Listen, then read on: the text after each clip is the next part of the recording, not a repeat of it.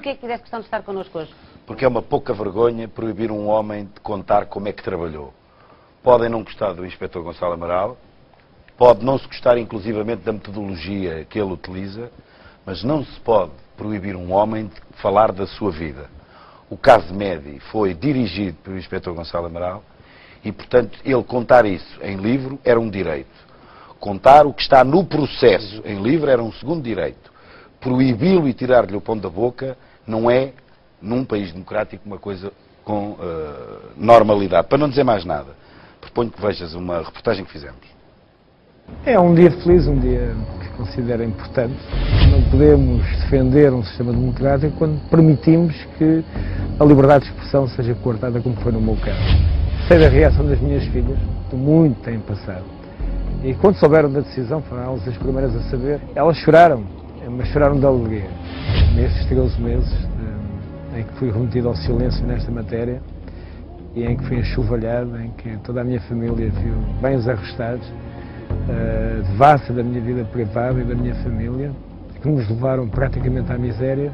É, esse desaparecimento, até a minha saída da polícia, era um elemento interventivo na polícia judiciária. Depois a minha vida mudou uh, de forma radical. Dediquei numa situação estável, confortável, para uma situação muito débil, uh,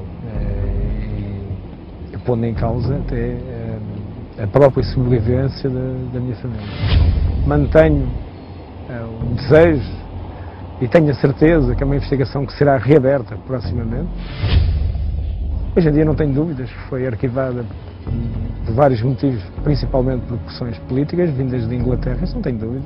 A investigação chegará ao fim, será reaberta e será, avançará. E far-se á justiça, o que é aquilo que nós queremos.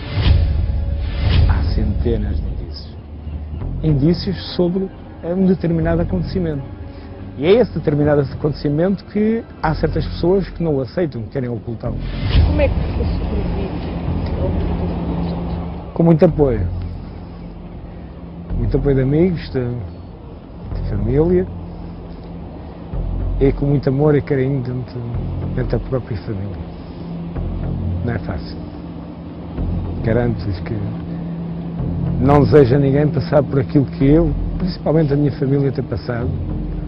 E tenho muitas dúvidas que aquele casal seja tão cristão ou tão católico como o diz.